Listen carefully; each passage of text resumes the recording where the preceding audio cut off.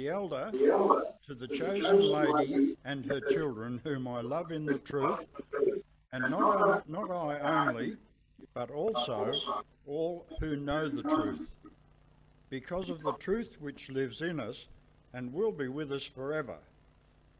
Grace, mercy, and peace from God the Father and from Jesus Christ, the Father's Son, will be with us in truth and love.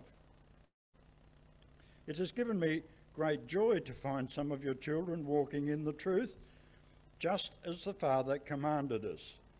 And now, dear lady, I'm not writing you a new commandment, but one we have had from the beginning. I ask that we love one another. And this is love, that we walk in obedience to his commands. As you have heard from the beginning, his command is that you walk in love. Many deceivers who do not acknowledge Jesus Christ as coming in the flesh have gone out into the world. Any such person is the deceiver and the antichrist. Watch out that you do not lose what you have worked for, but that you may be rewarded fully. Anyone who runs ahead and does not continue in the teaching of Christ does not have God. Whoever continues in the teaching has both the Father and the Son. If anyone comes to you and does not bring this teaching, do not take him into your house or welcome him. Anyone who welcomes him shares in his wicked work. I have much to write to you, but I do not want to use paper and ink. Instead, I hope to visit you and talk with you face to face, so that our joy may be complete. The children of your chosen sister send their greeting. Our Father, help us to understand your word clearly, not my words, but your word. Bless us as we meet together this morning around your word and its meaning. Amen.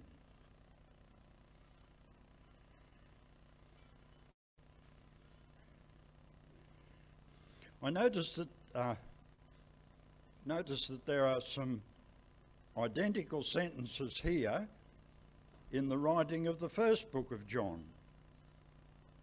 To who did he write it? It was either to a fellowship of believers in those early days, or it was to a very eminent lady and her children.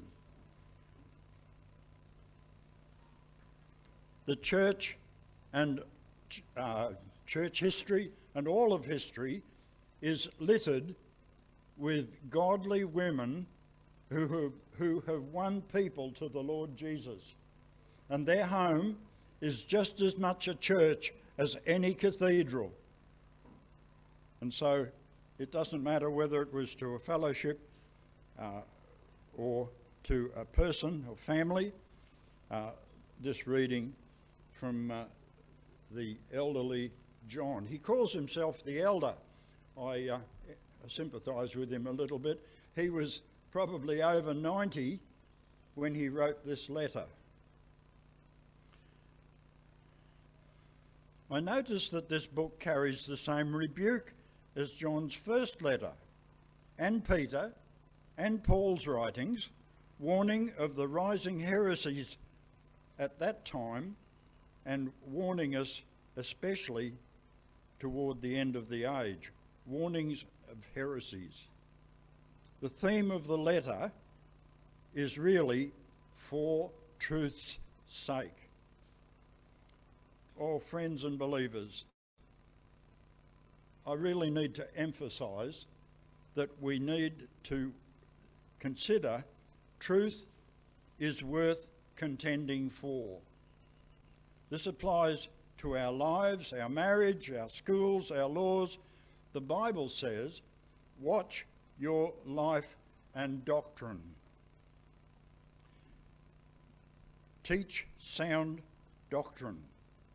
Jesus said, If you love me, follow my teaching. Truth is one of God's absolutes.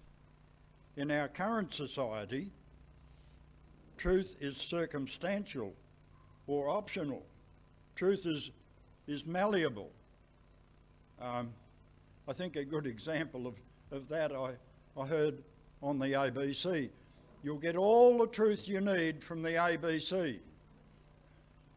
And I heard on another program that the uh, koala habitat is likely to be flooded on the whole eastern coast of Australia. So that means we'll all have to move up to Toowoomba because uh, that'd be a lot of flooding. Truth, discernment today is about as popular as absolute truth and honesty. Oh, I love the programs of that brethren fellow, Martin Iles. The truth of it. I hope some of you watch his programs on YouTube. The truth of it. In the Western world, we are being conditioned to accept truth as being what you want it to be. And uh, truth sounds like hate to those who hate the truth. Um, look at that situation with uh, Israel Folau. He put up a portion of the scripture, which is truth, in his own time on a board, and uh, the media called it hate speech. Truth sounds like hate to those who hate the truth.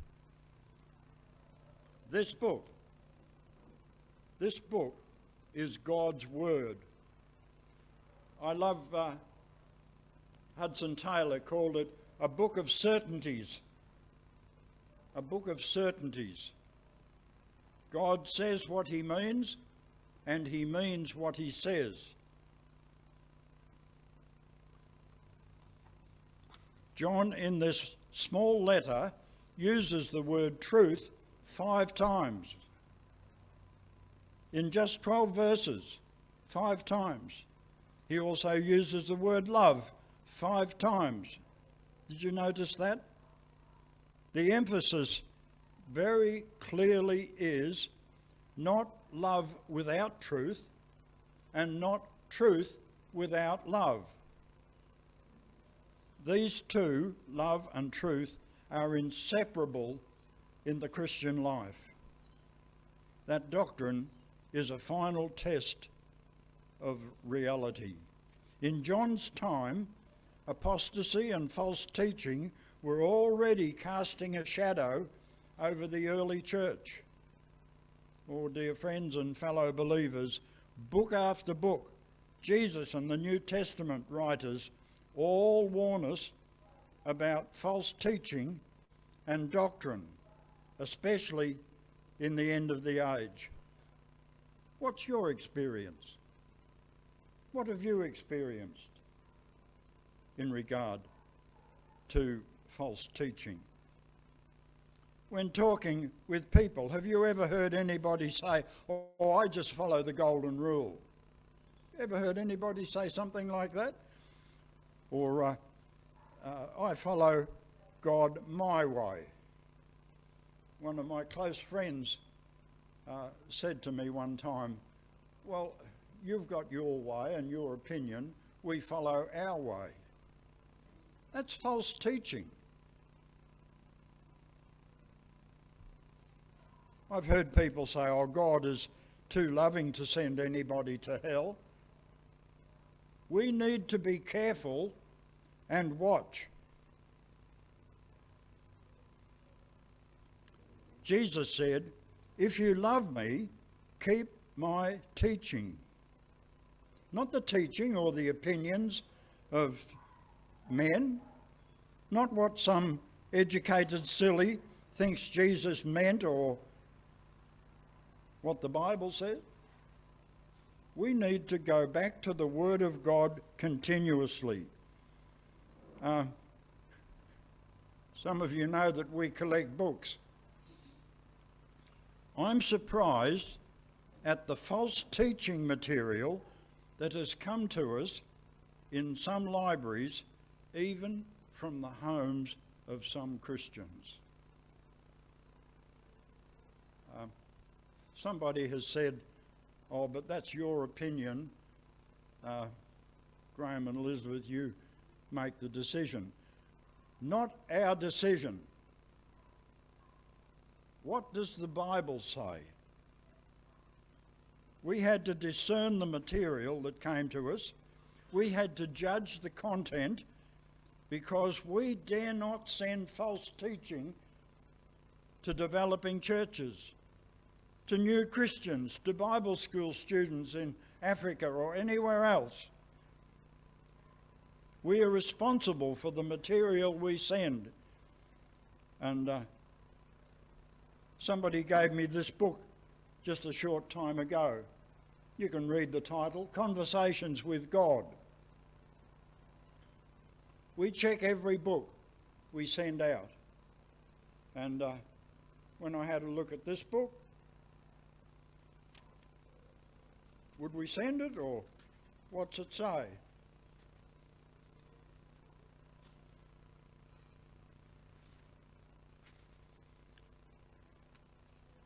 I want to thank the people that helped me write this book.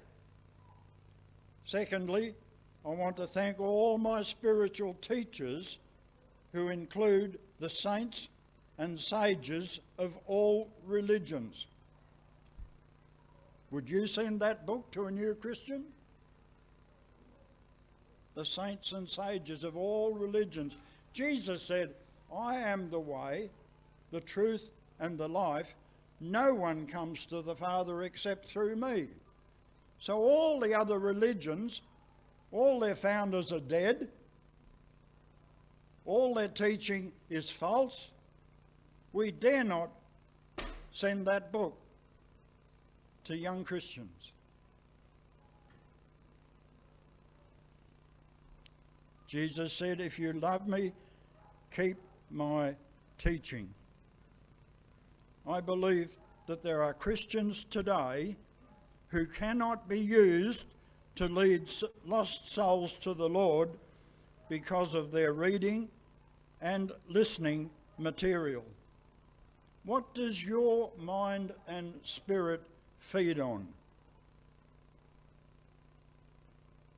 From Mark's Gospel, Jesus said, Consider carefully what you hear.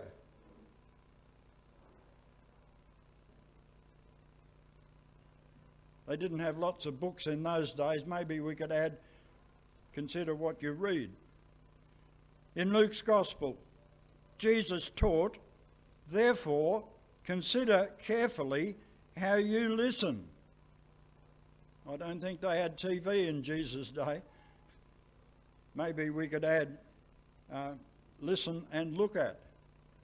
I could take you to a home where the wife spent a lot of time looking at garbage stuff on TV that upset her husband. He occupied in something else in his workshop or somewhere, and uh, he didn't want a bar of that worldly stuff, and it finished up in a divorce. Consider carefully what you hear. Consider carefully how you listen. And in Luke's Gospel, see that the light within you is not darkness. Dear friends, the Word of God, this book, is not negotiable. You can't just pick out a verse or two and reject a verse or two or the rest. Look at the seriousness that John instructs us toward false teachers in our reading this morning. He said, Don't even offer them the normal courtesies of life. This is serious stuff. This is not playing games. This is not playing church. The Bible is very firm in dealing with false teaching and false teachers. Oh, but there's one verse in this little book that stands out as vitally important in this passage? What do you think it is? Which verse do you, would you consider is one of the main messages of the book? This God breathed statement we cannot ignore. In practice, it touches every Christian, or should. What verse do you think I refer to? Kevin, in his message two weeks ago, read these words This is the love of God to obey his commands, and his commands are not burdensome. And in our reading this morning, God has put central to the 12 verses this verse. And this is love, that we walk in obedience to his commands. I looked up a heap of translations uh, at home and I found that every one of them said exactly the same thing. And this is love, that we walk in obedience to his commands. Oh, what a wonderful heritage we've got today as we look back on history. And uh, we are so blessed with people who have followed God's commands and followed the Bible. Have you read about uh, Mary Slessor or William Carey the bootmaker? Have you read their stories? Have you read about Charles Wesley and things that happened in his life? Or Corrie ten Boom, the clockmaker from uh, the Netherlands? I, I could list a huge pile of people, of saintly men and women who have loved people into the kingdom that we look forward to. What wonderful opportunities we have today also. I wonder how many of you have got a little picture on the side of your fridge of a foster child in another country and you're sending some funds to uh, see that they're educated in a Christian school. What a, a privilege to share a little bit of our life with them that they might grow up in a Christian atmosphere and learn to love the Lord. And who knows, but your prayer might mean that that person becomes a leader and a soul winner for the Lord Jesus.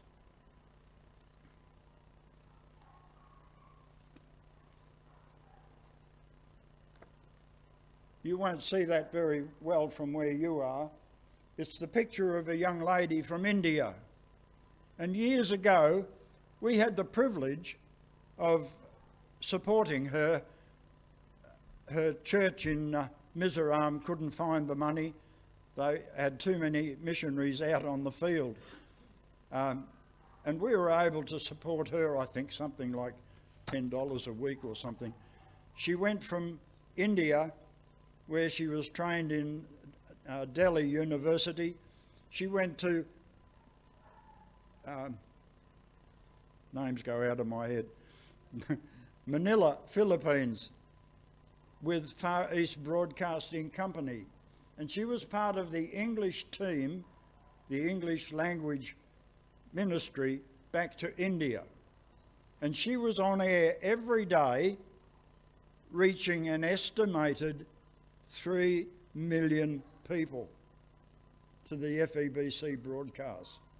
What a thrill to have had a share in her ministry.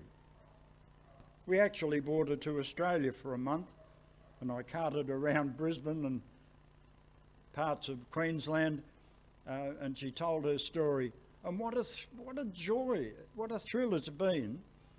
And uh, we can have our own missionary if we can't go ourselves, we can support a full-time broadcaster or pastor in a village for a very small sum of money each week.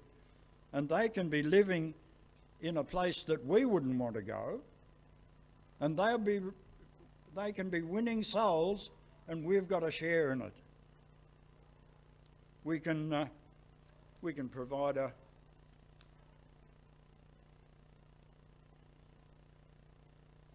we can provide a little radio or a, uh, a that's got the scripture on it. New Testament, the Holy Bible, today's New International Version. Read by Tyler Butterworth and Susan Sheridan. There was a church in America that sent 100,000 of these to all the camps of people coming out of Syria. The people, mostly Muslims, had the Bible in their own language with one of those. What an amazing ministry. I heard only a week or so ago that somebody, uh, it might be the same church, has sent 25,000 audio Bibles into Afghanistan. What a wonder. What a thrill to be part of something like that. We can provide a radio or audio Bible or vital literature like we send to build national churches. There are amazing opportunities today and to suit everyone's bank account. Jesus' last command, can somebody tell me what Jesus' last words were?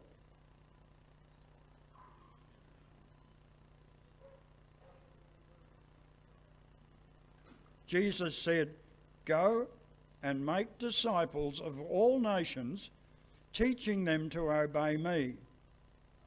Jesus does not say, Would you like to?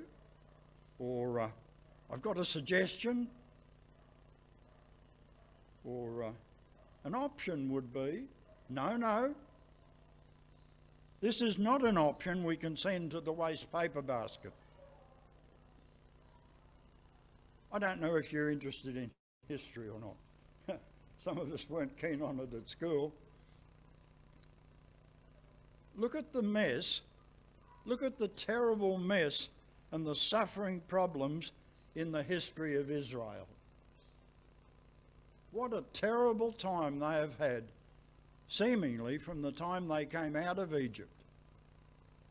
What happened? Did God fail them? Were his promises not, not sufficient? Why have they suffered so much and still are and still will until the Lord comes back? Why? Why are they suffering? I was reading in the Minor Prophets last week, and Hosea said, My God will reject them because they have not obeyed him.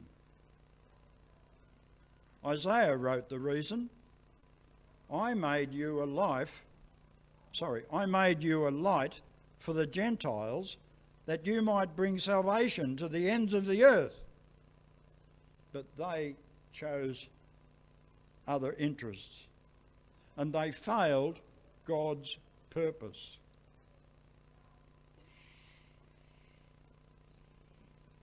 Israel's future is quite clear in prophecy. What of the church? What of the church across Australia today? Are we, are we the Laodicean church, the uh, is the church in Australia akin to the last of the churches written to in Revelation chapter 3? Oh, thank God we've got a, a history we can look back on where there have been faithful Christians and active men and women of God. Thank God for the Welsh revival. I don't know if you've ever read some of the history of uh, what happened in England. But it changed the Western world. Thank God for the Wesleys that stirred up the other churches and took Bible teaching to America. There was a time when I heard somebody say, America can't fail yet because they've got so many missionaries around the world and God loves missionaries. Thank God for the faithful missionaries through the 1800s and again in the last centuries that took the gospel to China and Africa, the Pacific, South America. Oh, what hardship and what suffering some of them went through and sacrifice in their love for Jesus and following his command. But what stories there are for us of John Paton and George Muller and Hudson Taylor and Robert Bowman and hundreds, no, thousands more men and women of God who simply followed what God gave them to do. They took the love that John here writes about love for the Saviour and love for the lost, and multitudes of the lost were saved. Many of these people lost their lives. But what of their future? When we all have to give an account before the Lord of the gifts that He's given us and the work that He had prepared for us if we haven't followed it.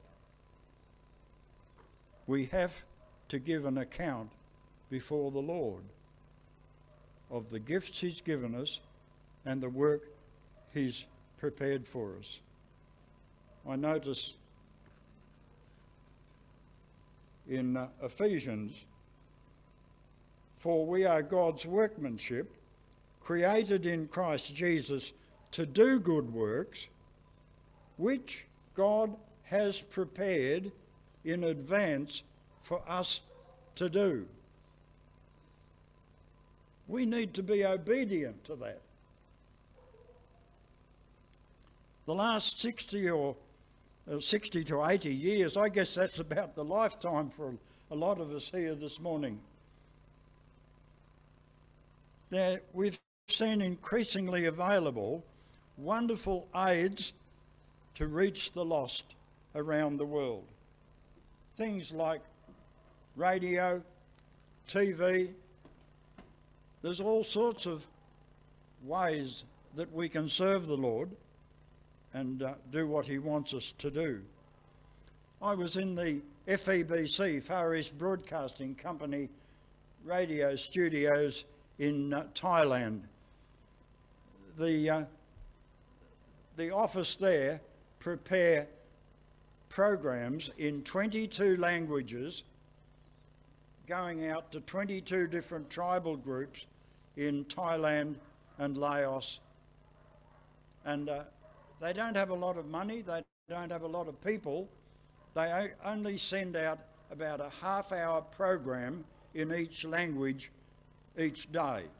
Those programs would, would be sent out in the morning to the tribal group in their time zone.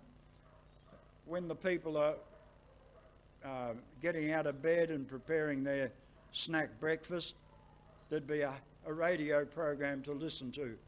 And then the same program would be broadcast again in the evening when they've had their meal and sitting around their campfire or in their village. Uh, just a half hour program changing each day in their language from a person from that language group. FEBC do not use cross-cultural teaching. They only have people from that language group that have been converted, they train them and they send the gospel back to their own people. When I was in Thailand at that time, I'd learnt of the half hour program a day going to the Khamu tribal people in Laos you cannot and haven't been able to send missionaries to Laos for a long time. But this half hour program went in morning and night. They counted up the letters that had come back from that tribal group the year before I was there.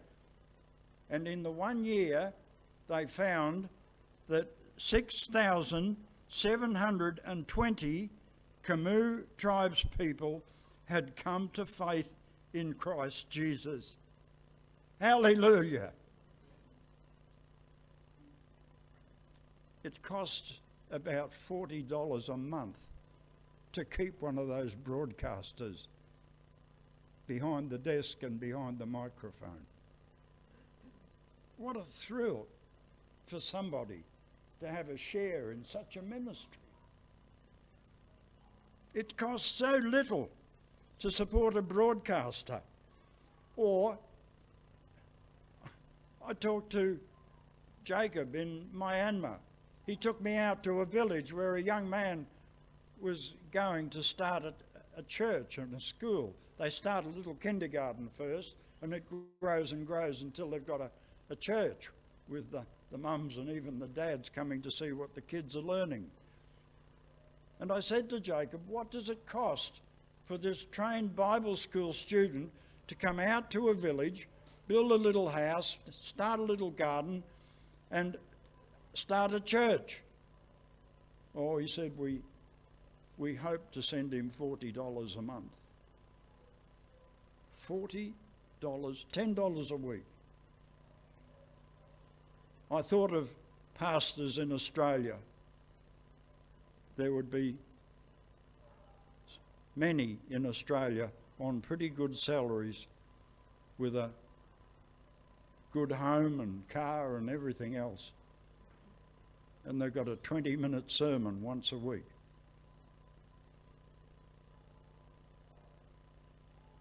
And I think of some of these people that we can support that have got hours of working with the people to win them to the Lord and show them what it is to be a Christian. Thank God for organisations like Open Doors and Compassion or Barnabas Fund, support to persecution to persecuted Christians in so many countries. Thank God for their ministries. We need to get behind them and pray and support. That's what Jesus said we were to do.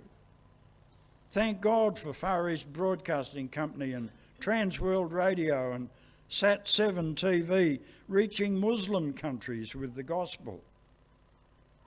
Do you know at one stage there were so many Christian, so many people becoming Christians in Iran that some of the pastors stopped preaching gospel messages. They couldn't handle the number of people coming to the Lord.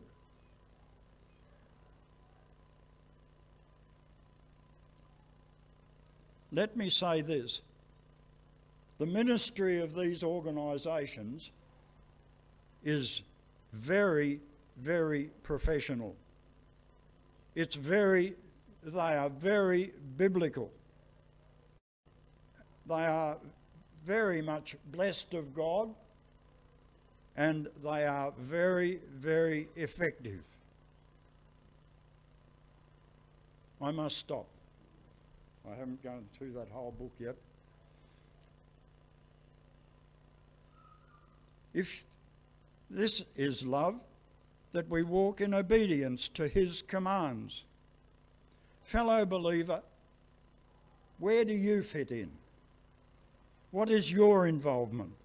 Supporting and praying for one or more ministries that is taking the gospel across the street and across the sea. Uh, anybody heard of Oswald Smith? Not many. Oswald Smith was the pastor of a large missionary sending church in Canada. They sent out many, many missionaries around the world when it wasn't so easy to send missionaries.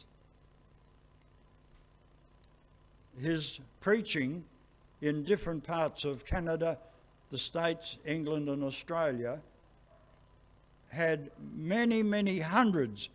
In fact, I would say there were many thousands of people heard his ministry and trained to be a missionary and went out to the mission field. Listen to what he wrote. unless every Christian and unless every church is committed to missionary enterprise, they are not in the will of God.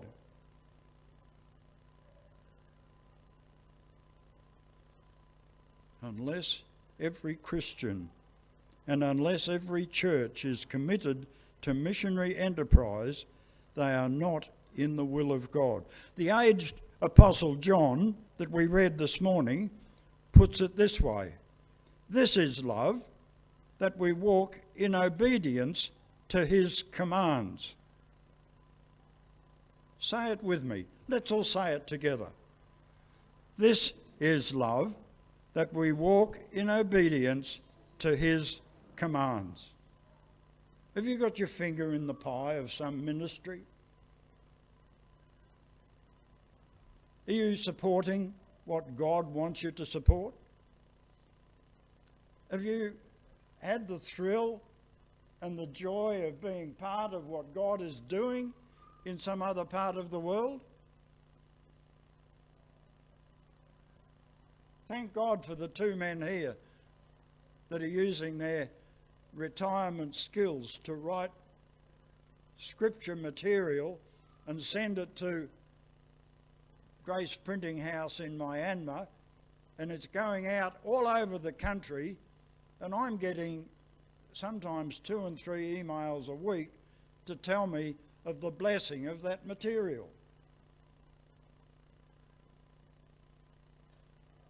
There is a thrill, there is a, a joy in doing what God wants us to do. And there's the eternal rewards where we're going to face the Lord with what we've done, with the gifts He's given us, the funds He's provided, the uh, skills, and uh, what we are. We don't have to worry about our repented sins, they're forgiven. But we do have to answer for the gifts that He's given us and how we've used them. Oh, forget Graeme Furlong speaking. Forget me. This is God speaking. This is love, that we walk in obedience to His commands. I intended to say at the beginning, and I was a little bit offbeat. Uh, years ago, a lot of preachers used to start with a text. They'd have a, a text at the beginning of their sermon, and uh, sometimes that text was a little bit like a, a coat hook. Uh, the hook was there and everything got put on the coat hook, so you never, you never saw the hook anymore. All you saw was the coats. And uh, some of the text used to be a bit like that. But we've got a text for today. I'm being old fashioned at my age. Do not merely listen to the words and so deceive yourselves. Do what it says. That's what James said in James 1:22. Do not merely listen to the words and so deceive yourselves. Do what it says. Oh, I wish we were a bigger crowd here this morning. We're going to sing the next hymn. Oh, for a thousand tongues to sing. I wish we had a, uh, a huge pipe organ, or maybe a, an orchestra, or a thousand voices that were all ready to sing. But let's stand and sing. Oh, for a thousand tongues to sing my great Redeemer's praise. We're going to sing just three verses verse 1, verse 3, verse 6. I hope, oh, I hope you can sing verse 6.